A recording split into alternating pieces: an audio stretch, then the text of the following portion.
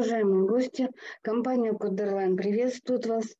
Э, сегодня наш вебинар посвящен настройкам, которые необходимо делать при начале работы с 1С ERP. Э, и вы видите на экране наши контактные данные, то есть наши э, электронная почта, наш телефон, наши телеграм-контакты, и вы видите адрес сайта. Если вам по какой-то причине оказалось неудобно время проведения а, нашей встречи или вы не смогли досмотреть до конца, то через некоторое время мы выкладываем на, а, сайтах, на сайте запись э, нашего вебинара. Вы можете посмотреть в удобное для вас время ну и, соответственно, может быть, найдете еще какие-то полезные для себя материалы. Так что приглашаем вас к сотрудничеству, приглашаем вас а, посетить наш сайт. А сегодня мы начинаем нашу встречу. А, программа вебинара, вы видите ее сегодня на экране.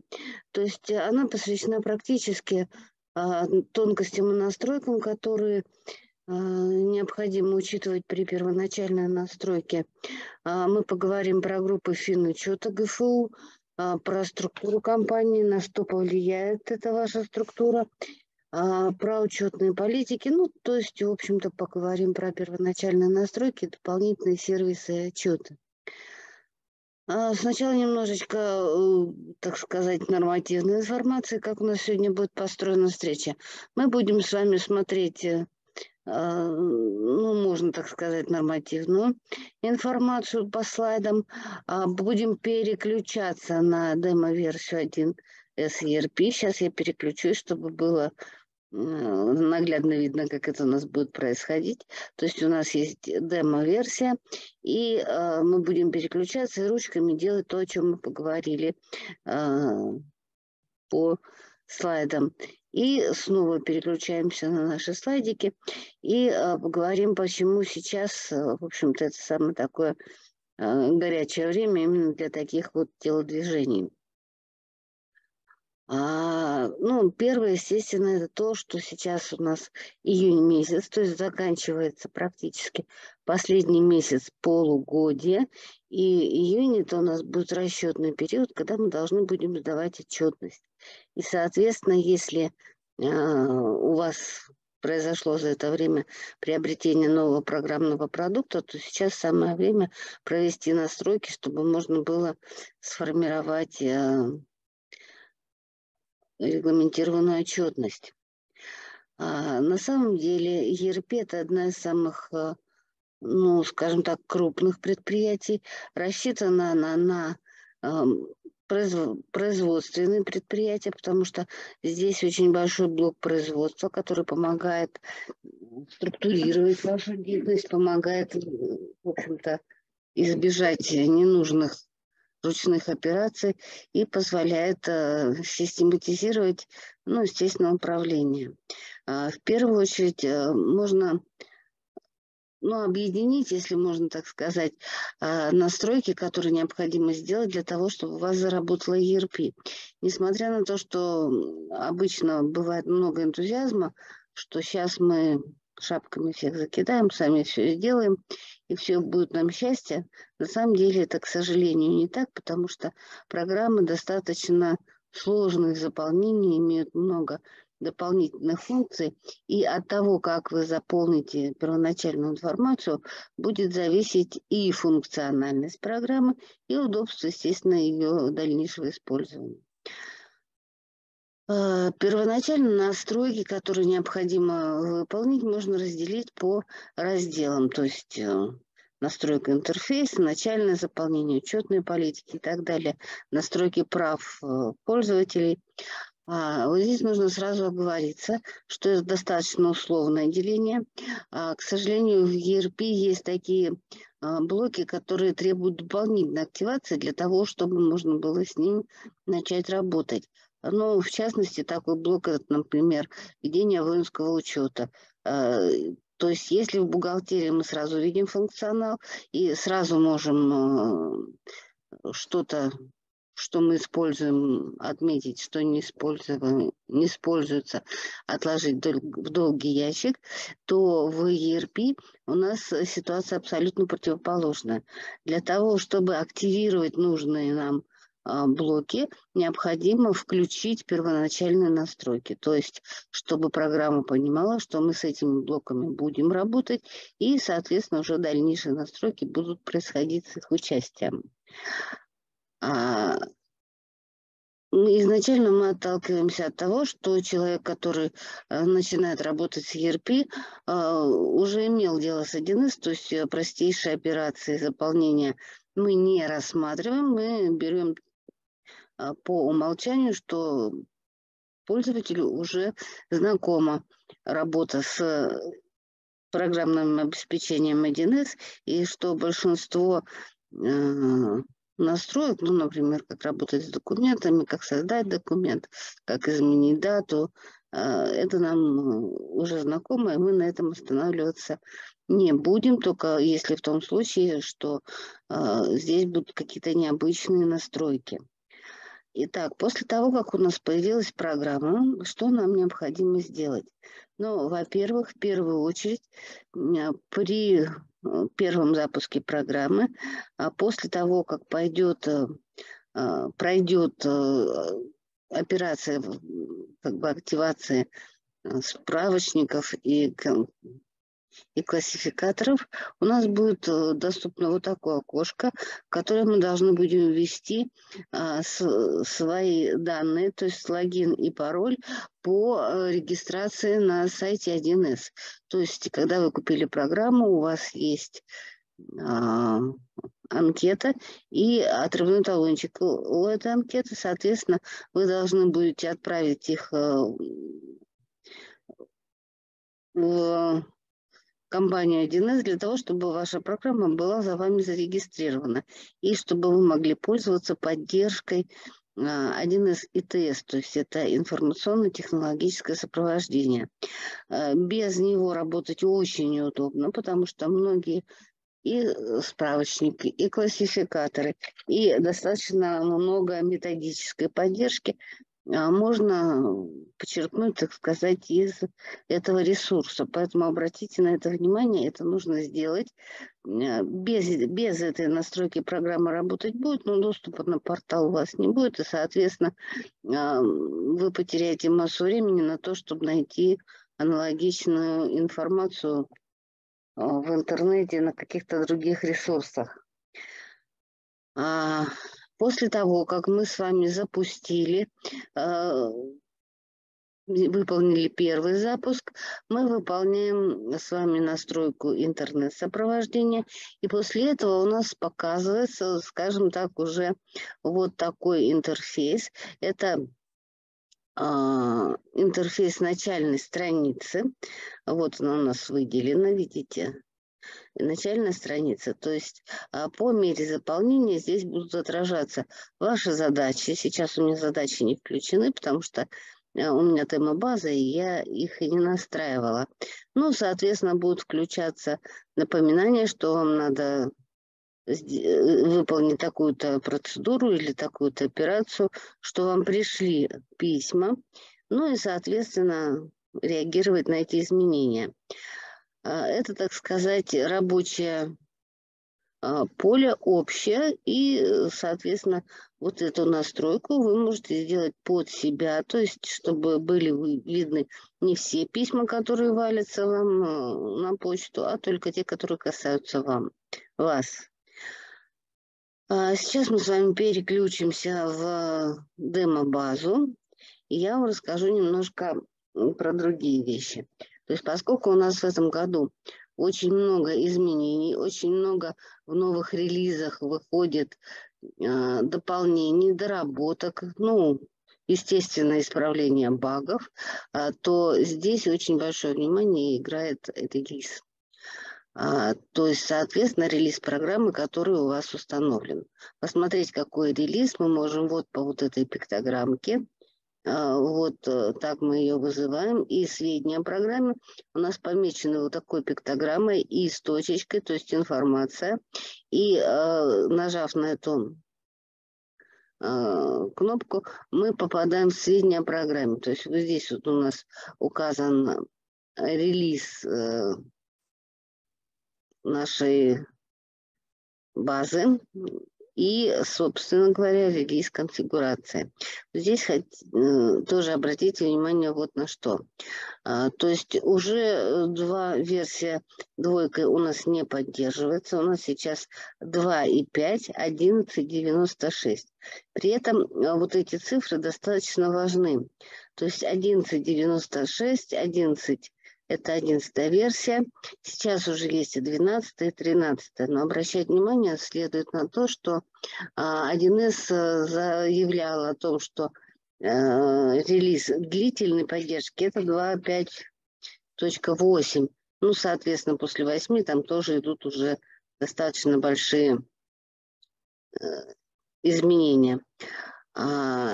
У нас релиз не самый последний для демо-базы, но не такой уж, чтобы совсем дремучий, потому что, естественно, а, с каждым обновлением добавляются какие-то а, функциональные опции, добавляются какие-то изменения, и, например, функции, функциональные опции остаются те же, но может быть, например, немножко другая компоновка. То есть может быть, что вы на привычном месте не нашли чего-то к чему привыкли, а, значит, это, этот функционал э, немножко изменен, располагается в другом а, блоке.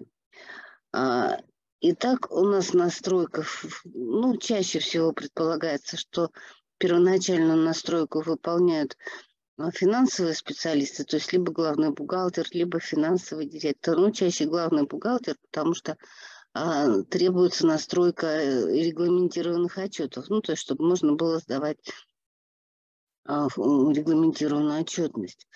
А, но, тем не менее, кто бы у вас не занимался этим делом, сначала мы должны сделать настройки, которые позволяют программе работать, то есть вообще функционировать, и уже после этого можно заниматься дальнейшими настройками, которые можно делать по ходу работы, по ходу пьесы, так сказать. А, располагаются у нас первоначальные настройки в разделе НСИ и администрирование. НСИ – это у нас нормативно-справочная информация. Ну и, соответственно, сейчас мы туда переходим.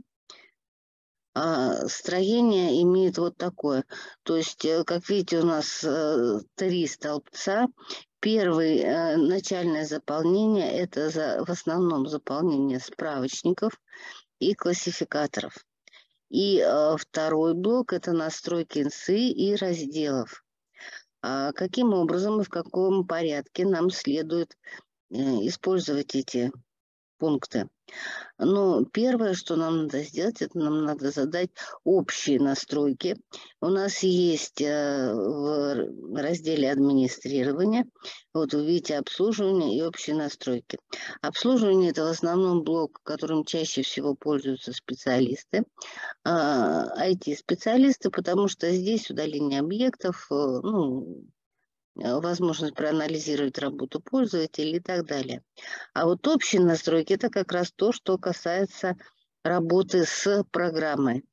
А, значит, здесь мы с вами видим, что а, у нас э, все, что мы заполним здесь, будет в последующем отражаться либо на титульных листах декларации и других регламентированных отчетов, ну, либо задает какие-то фундаментальные опции, которые нам будут необходимы. Что такое заголовок программы? То есть текст, который мы сюда введем, у нас отражаться будет вот здесь. Ой, извините, я увлекся. Сейчас мы разберем. Будет отображаться вот здесь. И, в принципе, а, существует он для того, чтобы а, обозначить, как, если, например, у вас холдинговая структура, как будет Э, организовано э, ведение и хранение вашей информации. А, соответственно, если вы будете публиковать свою базу, то здесь задаются настройки, ну, например, где у вас она расположена в интернете и так далее. Но, в принципе, в нашей российской действительности это мало кто делает. В основном только крупные компании, которые хотят, кроме обычного ведения учета, еще какие-то имиджевые цели преследуют. Контактная информация – это информация, которая попадает во все ваши другие справочники классификаторы, и, соответственно, как будет отражаться. То есть э, вот сейчас мы с вами перейдем, задается, как будет отражаться телефон, как будет отражаться мобильная почта, как будет электронная почта. Ну, то есть здесь нужно пройти и посмотреть, какие сведения у вас не заполнены, в каком формате вам нужно их э, вам хотелось бы их видеть. А дополнительные реквизиты – это если вам нужно, чтобы у вас э, в документах отражалась какая-то дополнительная информация. Ну, например, по обособленному подразделению или еще какая-то дополнительная а, дополнительные какие-то сведения. История изменений в практике для рядового пользователя в принципе не нужна. А этот больше для технических специалистов, но тем не менее вот мы знаем, что она у нас здесь живет. А поиск данных, то есть э, как у нас будут дальше а, во время работы происходить, например, настройки, и нужно ли будет сохранять настройки, которые мы задали для каких-то отчетов. А, поиск данных, то есть вот здесь желательно проставить флажок, потому что в этом случае нам становится доступным полный текстовый а, поиск данных, то есть мы сможем набрать нужное нам слово, и программа будет искать по нужному слову или словосочетанию. А вот эти две а, настройки электронной подписи шифрования и а, удаление помеченных объектов – это, в общем-то, достаточно неоднозначная настройка, которая требует особой осторожности, потому что электронная подпись, как вы знаете, у нас сейчас выпускается только налоговыми органами, то есть, э, допустим, квалифицированная электронная подпись, и если вы такую подпись будете использовать, то, соответственно, а, у вас будет возможность подписывать э, документы, например, если вы с документооборотом будете интегрировать и так далее.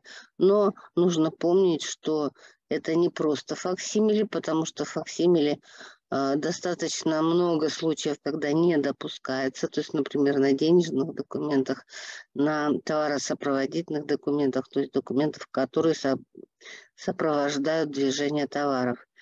А, поэтому здесь э, это должна быть не просто факсимиле, а, соответственно, уже а, подпись, которую можно использовать в электронном документообороте. А, и, собственно говоря, здесь же подписи, которые должны использоваться при обращении программы к вашим данным на сайте 1С. Ну, то есть вот с этим нужно быть поаккуратнее. И еще один э, тоже такой достаточно своеобразный пункт – это удаление помеченных объектов. Почему на него нужно обратить внимание? Потому что здесь есть возможность автоматически удалять помеченные объекты. А, то есть в обычном порядке у нас с вами происходит, ну, в принципе, те, кто работал в 1С, достаточно привычно уже такая ситуация, когда нужно объект помечается на удаление, и потом э, централизованно помеченные на удаление объекты э, у нас удаляются при запуске сеанса. А если мы проставим вот здесь вот галочку автоматически удалять помеченные, то здесь, конечно, у нас есть сервисные функции, которые э, позволяют настроить расписание, когда удаляется и так далее, но, тем не менее, у вас не будет вот этой подушки безопасности, которая позволяет перед удалением еще раз просмотреть то, что вы удаляете. соответственно, будут объекты удаляться сразу, когда на них поставили отметку на удаление. Это особенно на первых порах бывает достаточно неудобно, потому что пока человек еще не освоился, удалить он может и то, что, в общем-то, ему жизненно необходимо, но он еще об этом не знает. А, после того, как мы прошли вот эти вот первоначальные настройки, здесь, в принципе, такого особо критичного ничего нет. В основном внешнее оформление, видимость, ну и дальнейший сервис, как мы работаем а, с источниками данных, а, с телефонами, с электронной почтой и так далее. Это у нас мы с вами смотрели а, общие настройки. Э, пару слов об интерфейсе. А, то есть у нас а, вот сейчас вы видите этот интерфейс такси. Для тех, кто работал, например, в бухгалтерии, это может быть не очень а, комфортно на первых порах, потому что э, там, как вы помните, в например, бухгалтерии предприятия у нас располагаются сверху все э, пункты меню, и мы можем выбрать там, соответственно, например, блок зарплата, кадры и так далее. А на самом деле функциональность, э, что при интерфейсе такси, что при старом интерфейсе, э, у нас не страдает, то есть у нас есть абсолютно те же самые блоки, просто расположение идет э, с левой стороны на желтом поле. Вы видите расположение блоков, которые у нас есть. А, ну и, в принципе, если это уж, уж очень сильно неудобно, мы можем вернуться на старый интерфейс. То есть, соответственно, вот здесь вот мы ставим точку вот сюда, и программа нам а, выдает предупреждение, что необходимо сделать. То есть в этом случае необходимо просто перезапустить программу. Но мы будем с вами смотреть на интерфейсе такси, так как сейчас он все больше и больше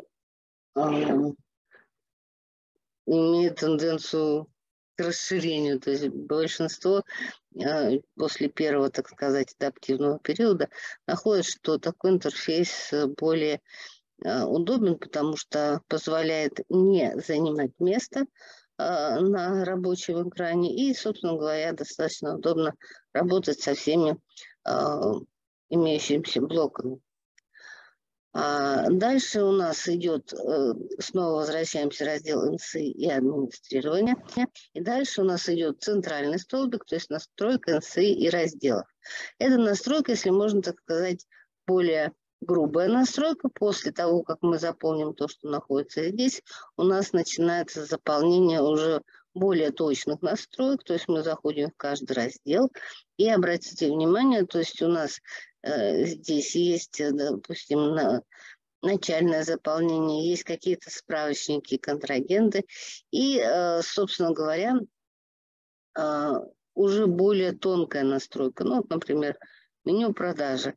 Как вы видите, здесь у нас скомпонован отчет по продажам, электронный помощник. То есть очень удобная фишка на первых порах, пока вы еще, ну, скажем так, не очень хорошо ориентируйтесь э, в конфигурации. И дальше идут э, справочники и, а, собственно говоря, документы, которыми можно оперировать при работе с вот конкретно продажи, допустим, чаще всего коммерсанты работают. А, здесь уже готовые документы, то есть если мы переходим по вот пунктам, на которых я сейчас останавливаюсь, у меня будет возможность открыть и создать этот документ. С одной стороны это удобно, с другой стороны это два лишних шага, то есть нужно зайти в раздел, зайти сюда и выбрать то, с чем работаешь. Э, чаще всего в этом случае делаются, э, выходит с положения таким способом.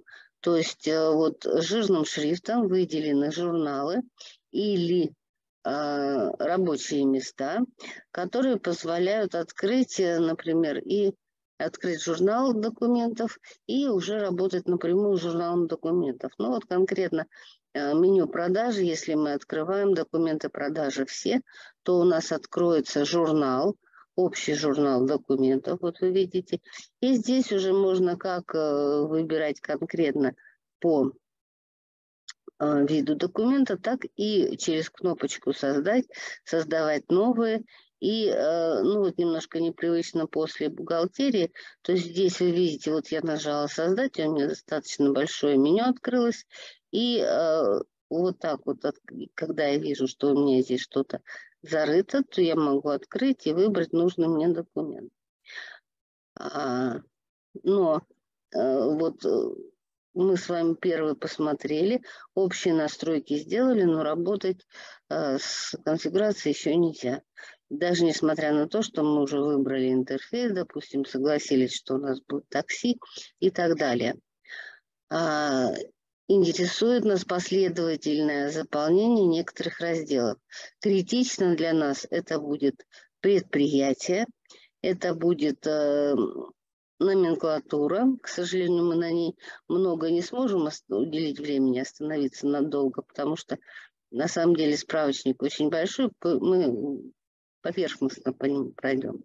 И настройки, соответственно, а, по работе с денежными средствами, это казначейство и взаиморасчеты, а, финансовый результат и э, внеоборотные активы, ну, естественно, регламентированный учет, потому что это создание и отправка обмен с налоговыми органами уже регламентированными отчетами, то есть декларациями, расчетами и так далее. Итак, начинаем мы с предприятия.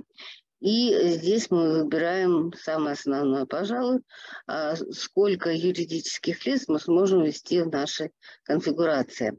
А, напомню, что, например, бухгалтерия базовая позволяла вести только одно юрлицо, бухгалтерия проф позволяла вести много юрлиц э, под одной крышей, так сказать, в рамках одной конфигурации, ну и так далее. Точно так же у нас и ERP, то есть мы можем выбрать, что у нас будет одно юрлицо, которое будет заниматься всем на свете, или у нас будет несколько организаций, то есть у нас будет несколько юридических лиц, ну, например, ИП, ООО и так далее. Значит, если у нас будет несколько юрлиц, мы должны поставить вот в, этой, в этом окошечке чекбокс, то есть вот такую зеленую, неповторимо красивую галочку. А, значит, в этом случае мы задали возможность ввести мультифирменный учет. А если у нас с вами, поставим вот так, если у нас с вами имеются обособленные подразделения, при этом обратите внимание, как выделенные на отдельный баланс, так и не выделенные, то, соответственно, мы должны проставить здесь вот э, тоже галочку. И э, классификация задолженности. То есть это долгосрочное или краткосрочное, но кроме того, что мы разделяем на долгосрочную или краткосрочную, а, вот так вот ставим флажок, у нас, а, соответственно, появляется представление. То есть если, например, стандартное, внешнее, которое приходит к нам из то есть не в программе формируется, а внешне, и полное, то есть э, наименование, дата, ну, то есть привычные всем реквизиты. И здесь же у нас с вами живет валюта. Обратите внимание, что если мы при настройке не поставили, что, то есть э, не учли вот эту возможность, то есть что мы будем работать с валютой, у нас э, не будет возможности работать ни с валютным контролем, ни с иностранными поставщиками. То есть, соответственно, валюта регламентированного учета мы должны отметить, что будет вестись несколько валют. Поскольку у меня уже заполнены некоторые данные, то у меня этот пункт, видите, стал неактивным. Но при первоначальных настройках я э, ставлю здесь флажок. И э, следующий момент еще валюта управленческого учета. А, то есть бывают организации, где управленческий учет, например, в долларах происходит. В этом случае мы ставим ту валюту, в которую вы хотите, чтобы пересчитывалось э, все в вашей конфигурации. А, то есть в этом случае мы проставляем USD, например, или евро, или УЕ. Так, нет, нам этого не надо. А, то есть, соответственно, вот здесь вам надо обязательно лучше всего проставить флажок, что валюты, то есть, чтобы есть возможность применять несколько валют, а будете вы их использовать или нет, это уже в дальнейшем жизнь покажет, как говорится. А, это мы с вами пробежались по а, тому, что у нас находится в настройках предприятия. И, соответственно, что используется справочник, который используется во всех абсолютно сферах жизни, это номенклатура. То есть э, здесь нам нужно, опять же, мы задаем общие настройки и э, задаем э, в зависимости от того, какие реалии на вашем предприятии. Лучше всего, естественно, проставлять флажки максимально подробно, ничего не пропуская, потому что сегодня у вас нет, например, многооборотной тары, а завтра раз и появилась, то есть завтра вы должны будете ее учитывать, чтобы не тратить время на возможность э, подключения этого функционала, лучше это сделать сразу. То есть открыть себе полный функционал. А, после того, как мы это для себя организовали, у нас единицы измерения. Здесь обратите внимание, что единицы измерения по умолчанию здесь зашит справочник единицы измерения. И добавить э, в рабочий список какие-то новые, это на самом деле не, не сложно. А, ну и вы видите, что для а, единиц измерения у нас э, существует классификатор, в котором устанавливаются ну, наиболее часто употребляемые единицы и, допустим, единицы измерения для различных отчетов. Ну, например, что у вас будут не штуки, а комплекты. Ну, какие-то, может быть, у вас экзотические существуют единицы измерения. То есть это все мы задаем вот здесь единицы измерения. Здесь ничего особого сложного нету. А, справочник единицы измерения у нас был и в бухгалтерии, в, во многих других конфигурациях. Единственное, на что нужно обращать внимание, что когда вы выбираете, то выбирать нужно из уже имеющихся, то есть когда у вас уже установлены наименования в российском формате и в международном формате. Ну, естественно, можно добавлять э, сюда что-то подобрать из классификатора, если здесь не используется. Но чаще всего это возникает вопрос, когда э, задаются, например, услуга. Э, вот в этом случае приходится вводить ее ручками, потому что услуга такого э, наименования нету. А, настройки создания. Ну, это вот это технический, как бы такой блок, мы не будем на нем полностью останавливаться, просто немножко скажем, что вот он существует. А, точно так же можно делить на сегменты и нас, настраивать поиск и подбор. То есть это для работы операционистов, которые занимаются, например, вводом первичных документов или выписывают документы реализации и так далее. А, дополнительная информация. Дополнительная информация – это э, на самом деле здесь может использоваться э, любая информация, например, сертификаты, э, если вы удерживаете их. И обратите внимание, возможность работать с драг-металлами – у нас от, отмечается, так сказать, открывается этот функционал здесь же. То есть если вам необходимо работать с драг-металлами, то вот этот флажок мы проставляем в этом поле. То есть э, отдельно проставляется эта отметка. В этом случае становится доступен функционал работы с драгметаллами и с камнями. И, соответственно, в дальнейшем появятся и в справочниках э, ну, как бы такие элементы. И будет работать механизм учета драгметаллов. Ну и информативные цены номенклатуры – это здесь э, возможность работать с Э, ценами номенклатуры, э, с настройкой и так далее. Ну, то есть это тоже лучше поставить заранее, потому что потом, э, в принципе, 90% пользователей возвращается к тому, что поставить сюда отметку. На самом деле, если вы не поставили при настройке драгметалла, то ничего страшного особо не произойдет. А, просто вам нужно будет в последующем, когда у вас появится такая необходимость, вернуться сюда и проставить здесь флажок. Единственное неудобство, что обычно к тому моменту э, многие пользователи уже просто забывают, где это находилось.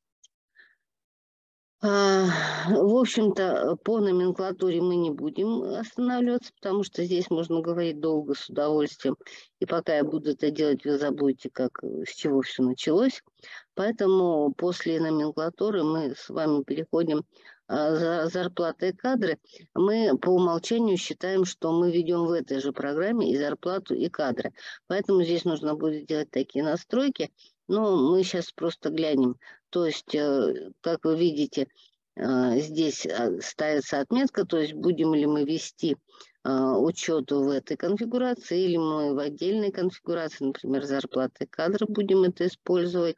И точно такая же а, отметочка у нас будет ставиться. Сейчас я закрою номенклатуру, чтобы она нам не мешалась. Так, все. А, и точно такая же операция нам предстоит а, при расчете заработной платы. То есть мы ставим здесь отметочки, что мы будем вести с аналитикой по людям. И, соответственно, в этом случае потом а, уже можно будет вернуться и более подробно просмотреть, что здесь настроено. А вот из того, что критично, а, критично нам будет, а, соответственно, финансовый результат и регламентированный учет.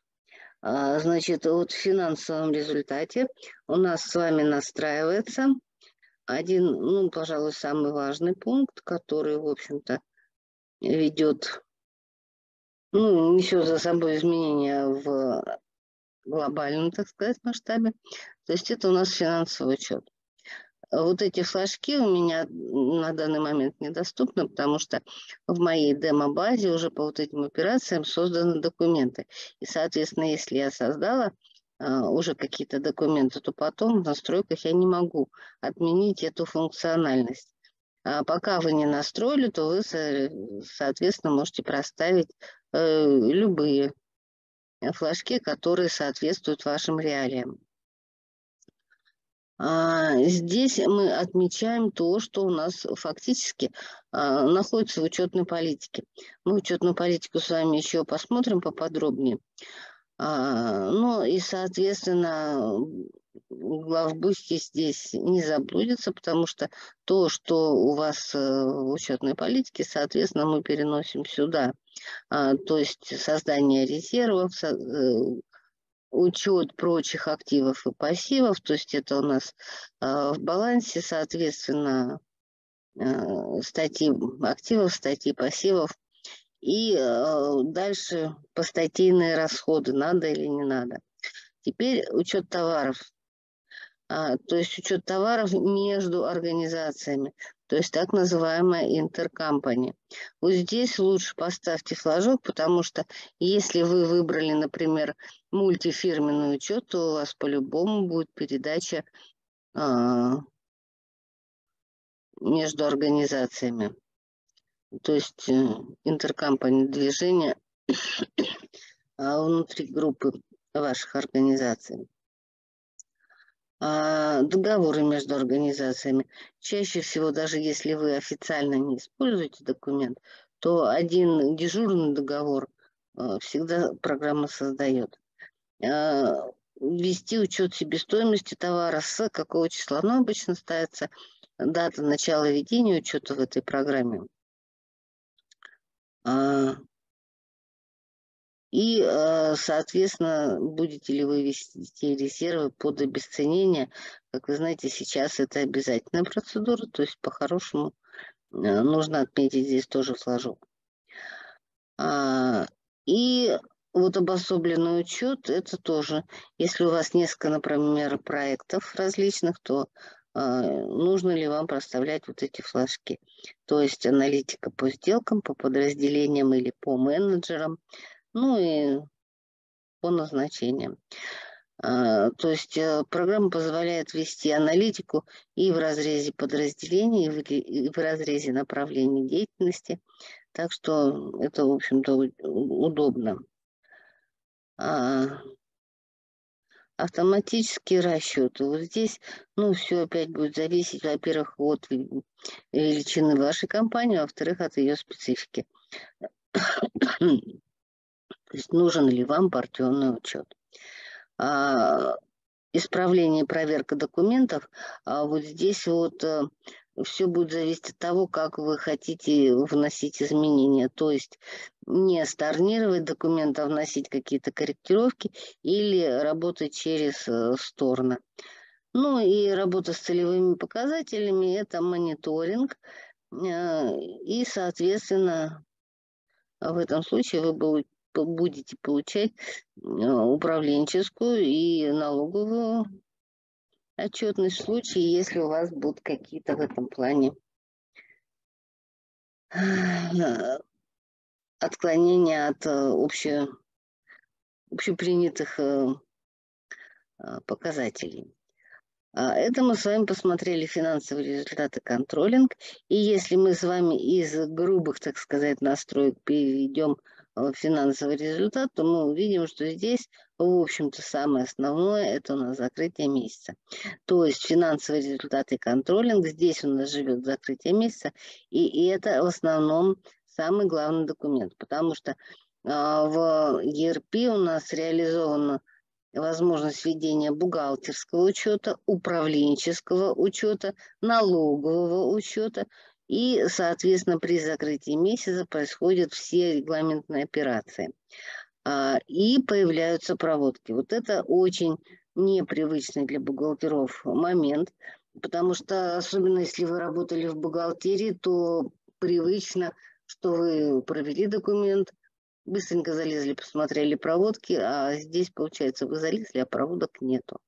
А, то есть закрытие месяца а, в ERP происходит э, как бы как отдельная жизнь, но здесь у нас существует возможность сделать предварительное закрытие и окончательное закрытие, потому что а, когда делается окончательное закрытие, у нас переформировывается, соответственно, себестоимость.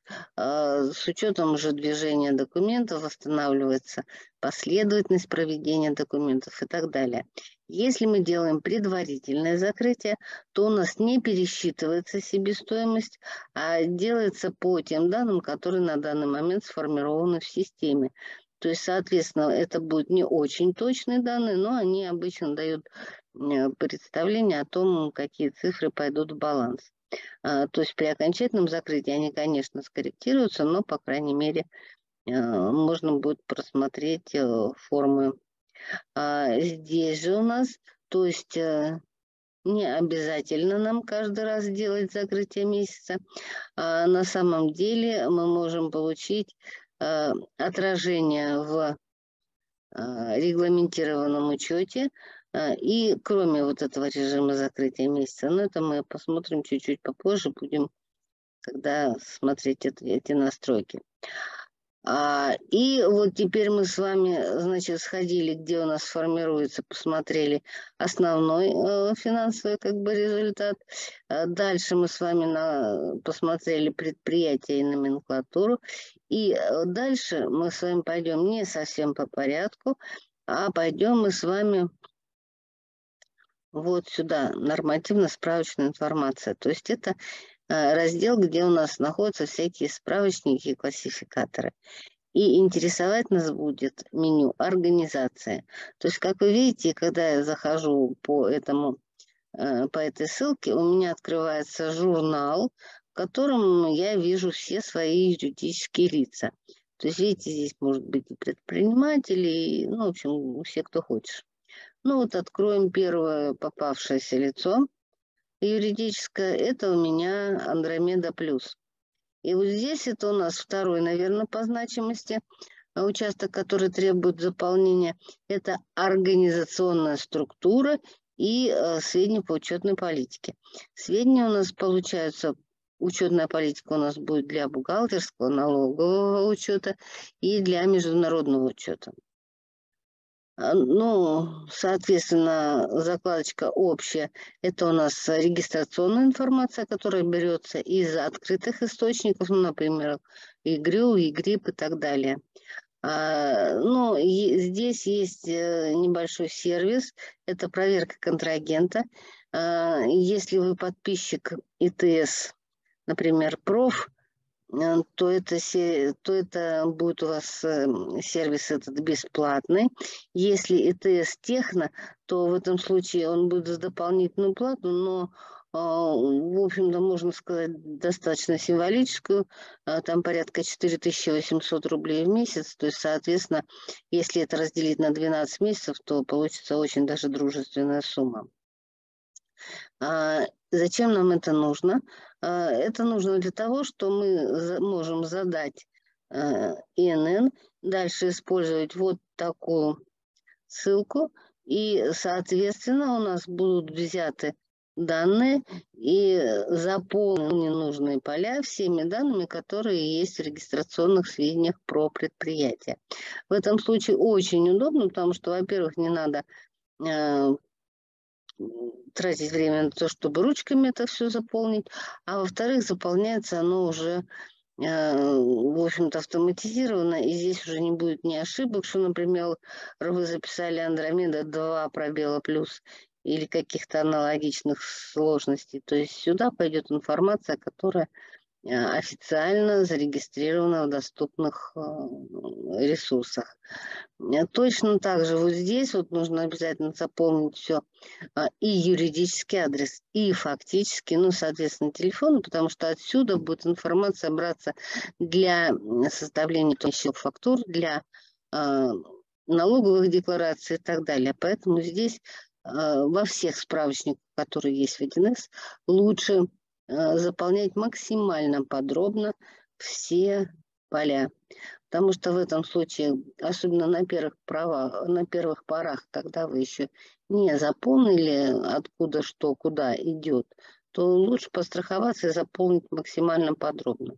Потому что иначе потом вам придется в режиме ручного редактирования а, исправлять уже созданную там например, отчетность, там, декларации, э, расчеты и так далее.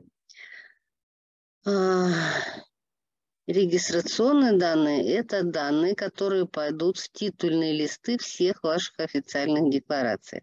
Заполняются они, э, видите, вот по такой гиперссылочке, то есть мы туда проваливаемся и заполняем сведения про организации, которые ну, в общем-то, у нас были и раньше в других э, конфигурациях просто немножко другая компоновка.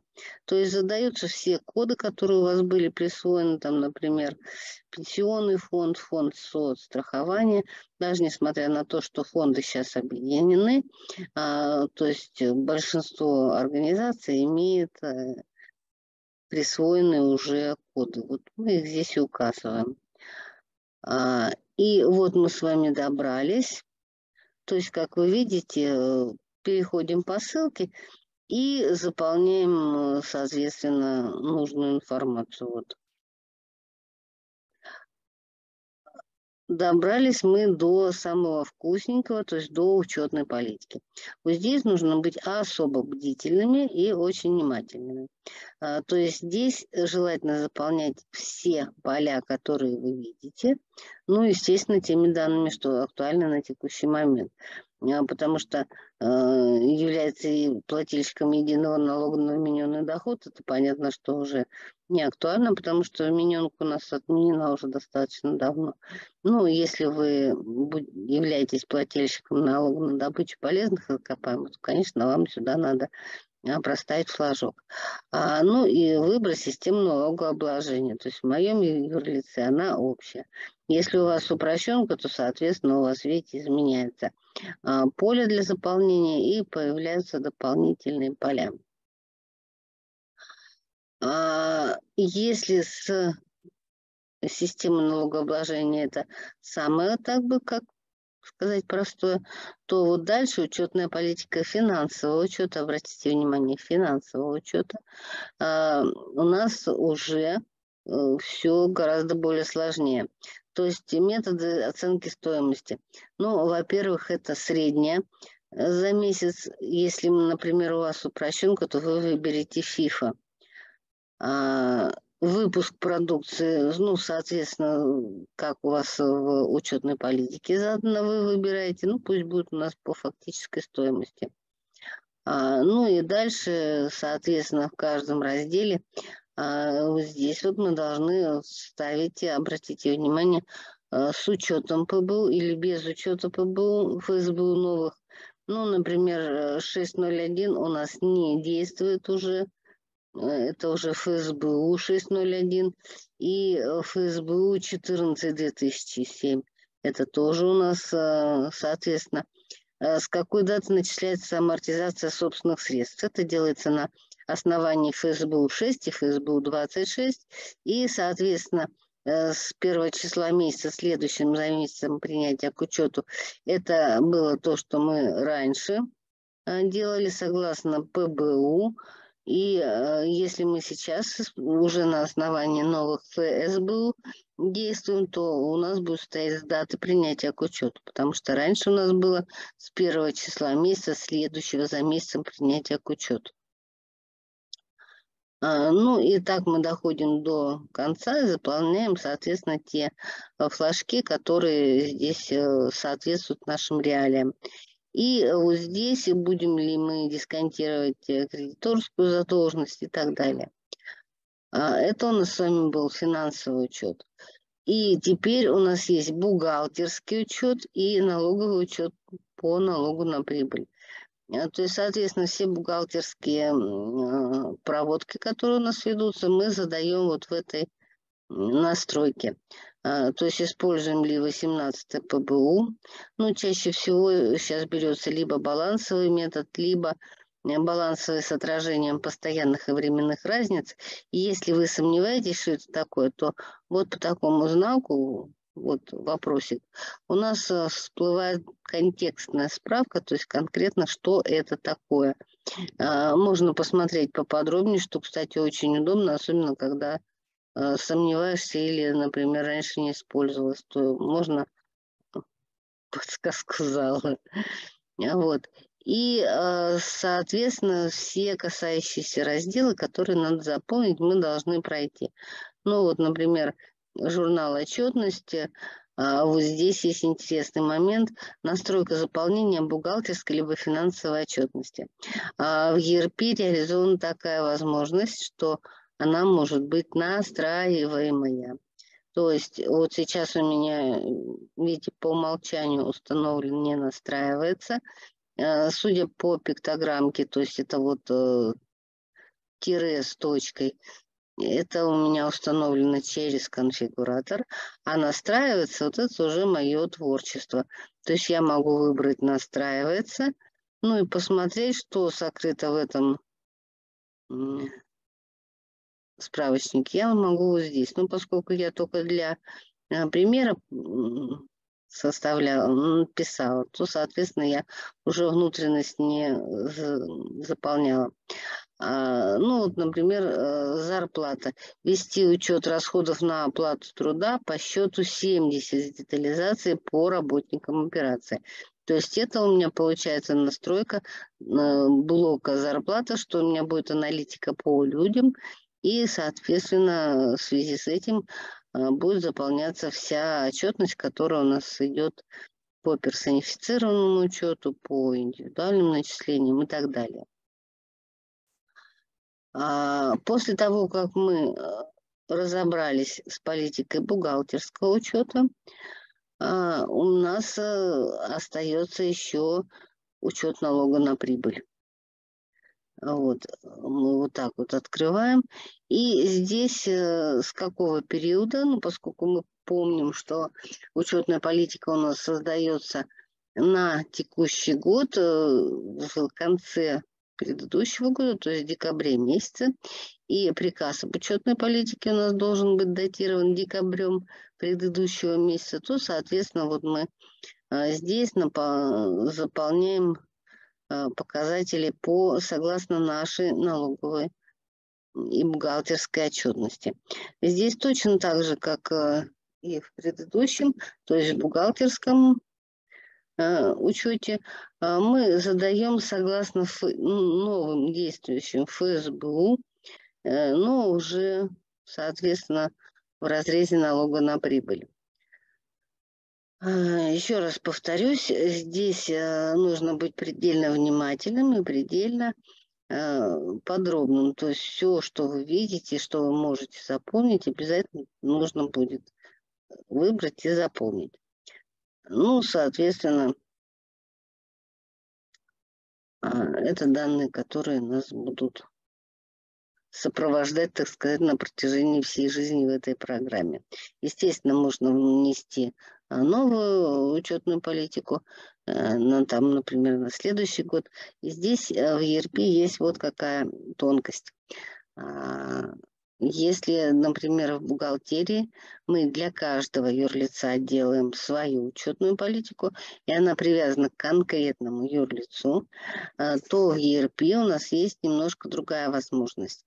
Если э, у меня много разных юрлиц, например, там пять юрлиц у меня применяют общий режим, и у них более-менее одинаковые настройки, э, то я могу записать в журнал созданную учетную политику и потом для других лиц ее просто выбрать.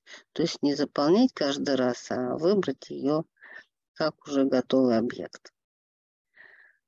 А, значит, после того, как мы посмотрели в учетной политике, а, это у нас учетная политика и налоги, у нас остается еще зарплата и кадры. То есть здесь у нас есть отдельные настройки, и, э, соответственно, по ним тоже надо пройтись. Ну, районные коэффициенты, то у вас, если юрлицы или, может, обособленные подразделения территориально э, относятся к районам Крайнего Севера или приравненным к равному Северу, то, соответственно, вы должны зайти и проставить эти коэффициенты. А, и точно так же, как и при заполнении учетной политики, вы просматриваете и выбираете то, что касается ваших реалий, то есть, соответственно, применимо к вам. А вот здесь обратите внимание, у меня сейчас проставлен воинский учет, и поэтому я вижу вот такой вот блок. А, здесь есть тонкость, потому что а, воинский учет программа может вести, но изначально а, отметка о том, что воинский учет активирован, не стоит. То есть первоначально вы должны зайти в раздел НСИ и администрирование, и если вы хотите, чтобы э, провелся, чтобы была возможность работать с кадровым учетом, вам нужно перейти в раздел настройки э, разделов э, переходим в кадры. И здесь у нас есть, вот видите, э, вот такой раздел «Воинский учет». По умолчанию он будет выглядеть вот таким образом, то есть, соответственно, здесь нету никаких флажков. Значит, я проставляю, а, ведется воинский учет. А, это дает возможность работать с блоком бронирования. И э, если у вас э, бронирование есть, то, соответственно, здесь будет еще один флажок, еще один чекбокс.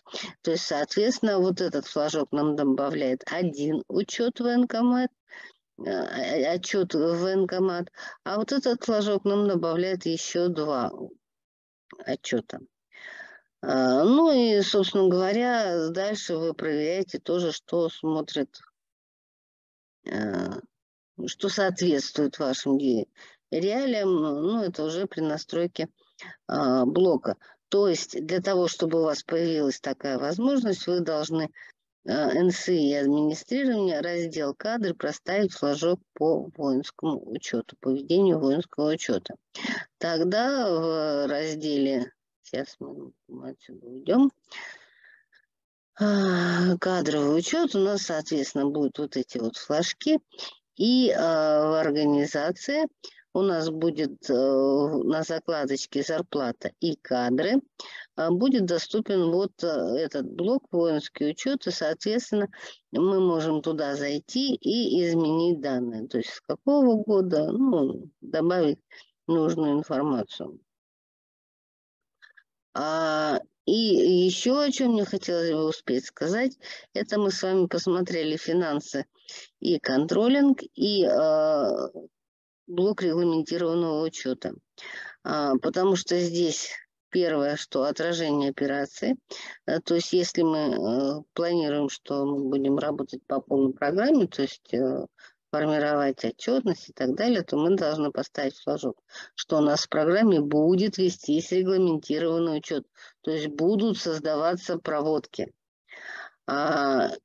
Потому что в противном случае у нас будут данные только, например, по управленческому учету, без регламентированного.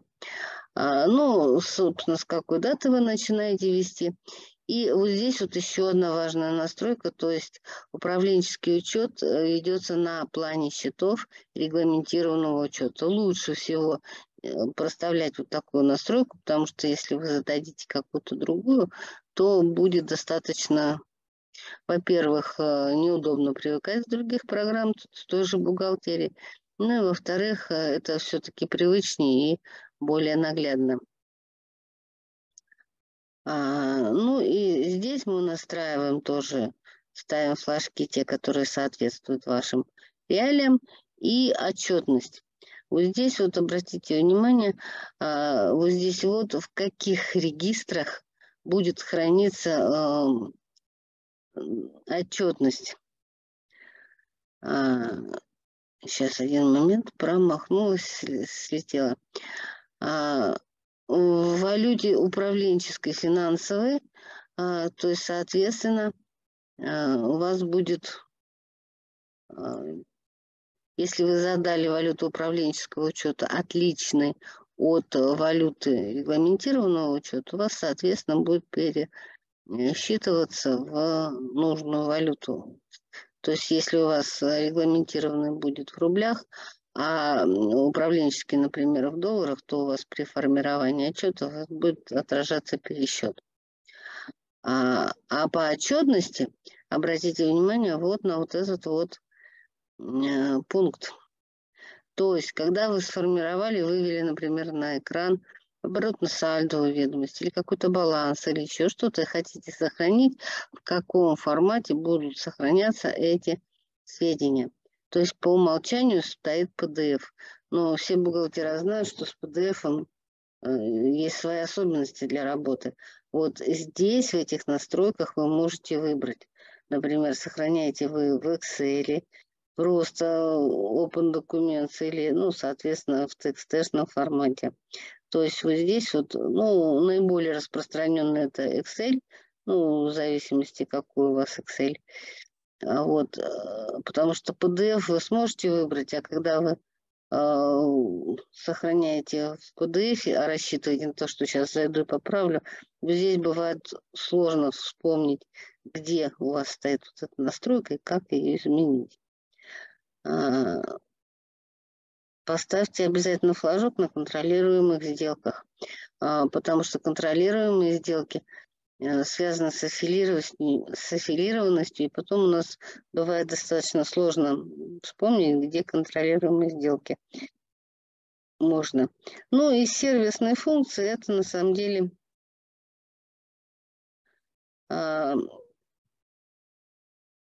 у ERP есть такой функционал, а, он был в бухгалтерии, то есть это проведение ручных проводок.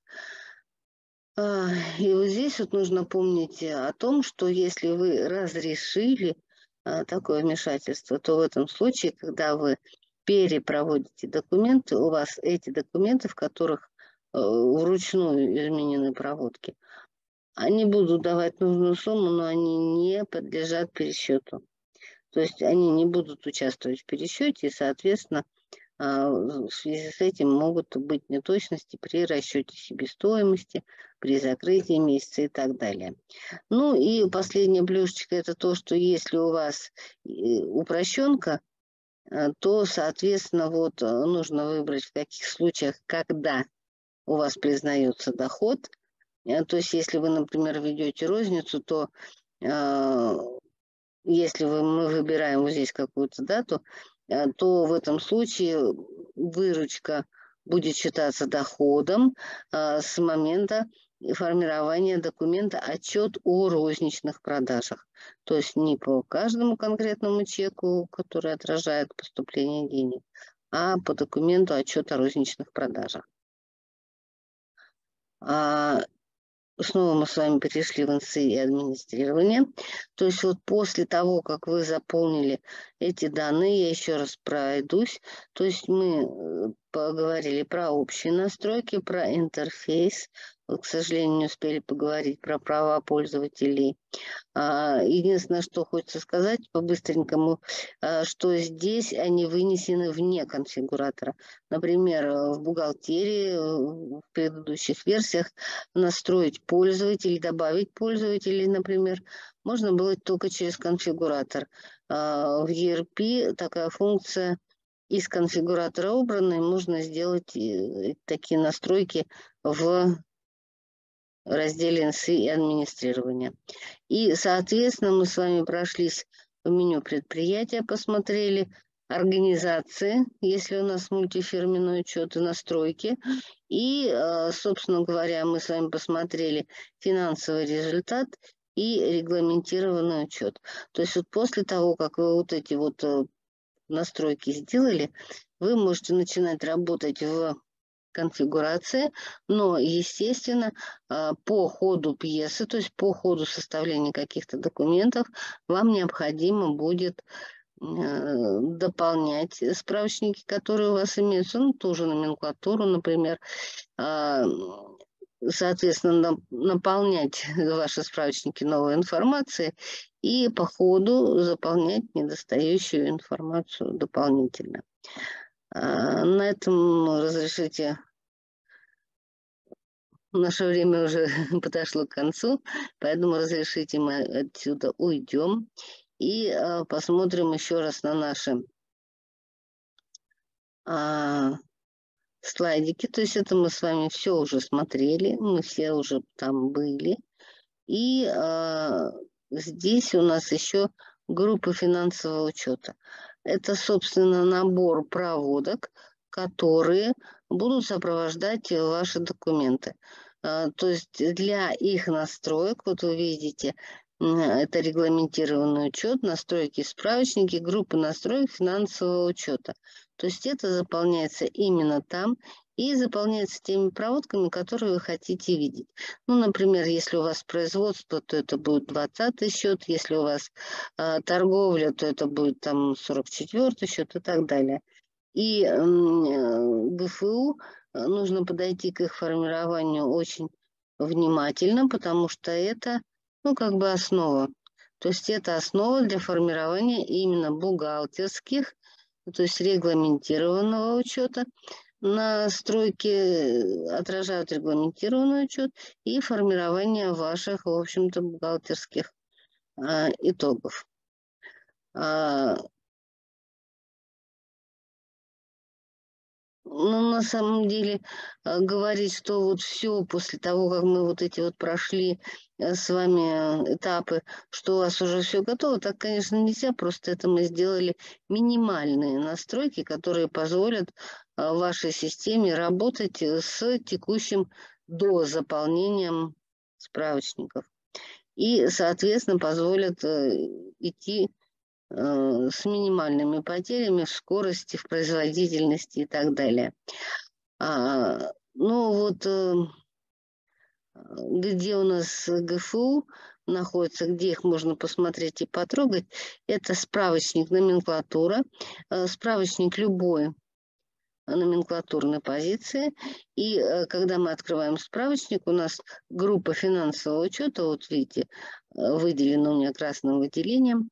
А, вот здесь, то есть мы выбираем, соответственно, к нашим номенклатурным группам ГФУ. А, по пиктограммке вот этой мы можем посмотреть, что здесь зашито. Ну и, соответственно, либо изменить, либо переместить в другую группу с другими проводками, то есть каждой номенклатурной позиции, в каждом номенклатурном элементе у нас присутствует группа финансового учета, то есть проводки, которые в дальнейшем программа э, сформирует для отражения документа, который вы выбрали. А, то здесь у нас э, совершенно все равно, какая это будет группа, то есть это будет что-то, что имеет количественный учет, или это могут быть товары и услуги, когда у нас количественного учета нет.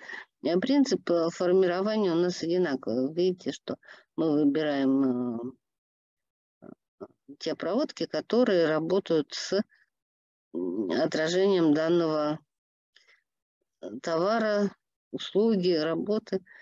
И, соответственно, у нас э, получается после этого э, справочник, какие проводки мы используем. То есть, например, мы э, показываем полуфабрикаты, готовую продукцию так, и так далее. То есть такие проводки у нас в бухгалтерии, например, назывались счета учета номенклатуры. Здесь они у нас называются ГФУ. А, посмотреть, где у нас расположено ГФУ, вот вы видите, очень несложно. Это опять же наш любимый раздел НСИ и администрирование.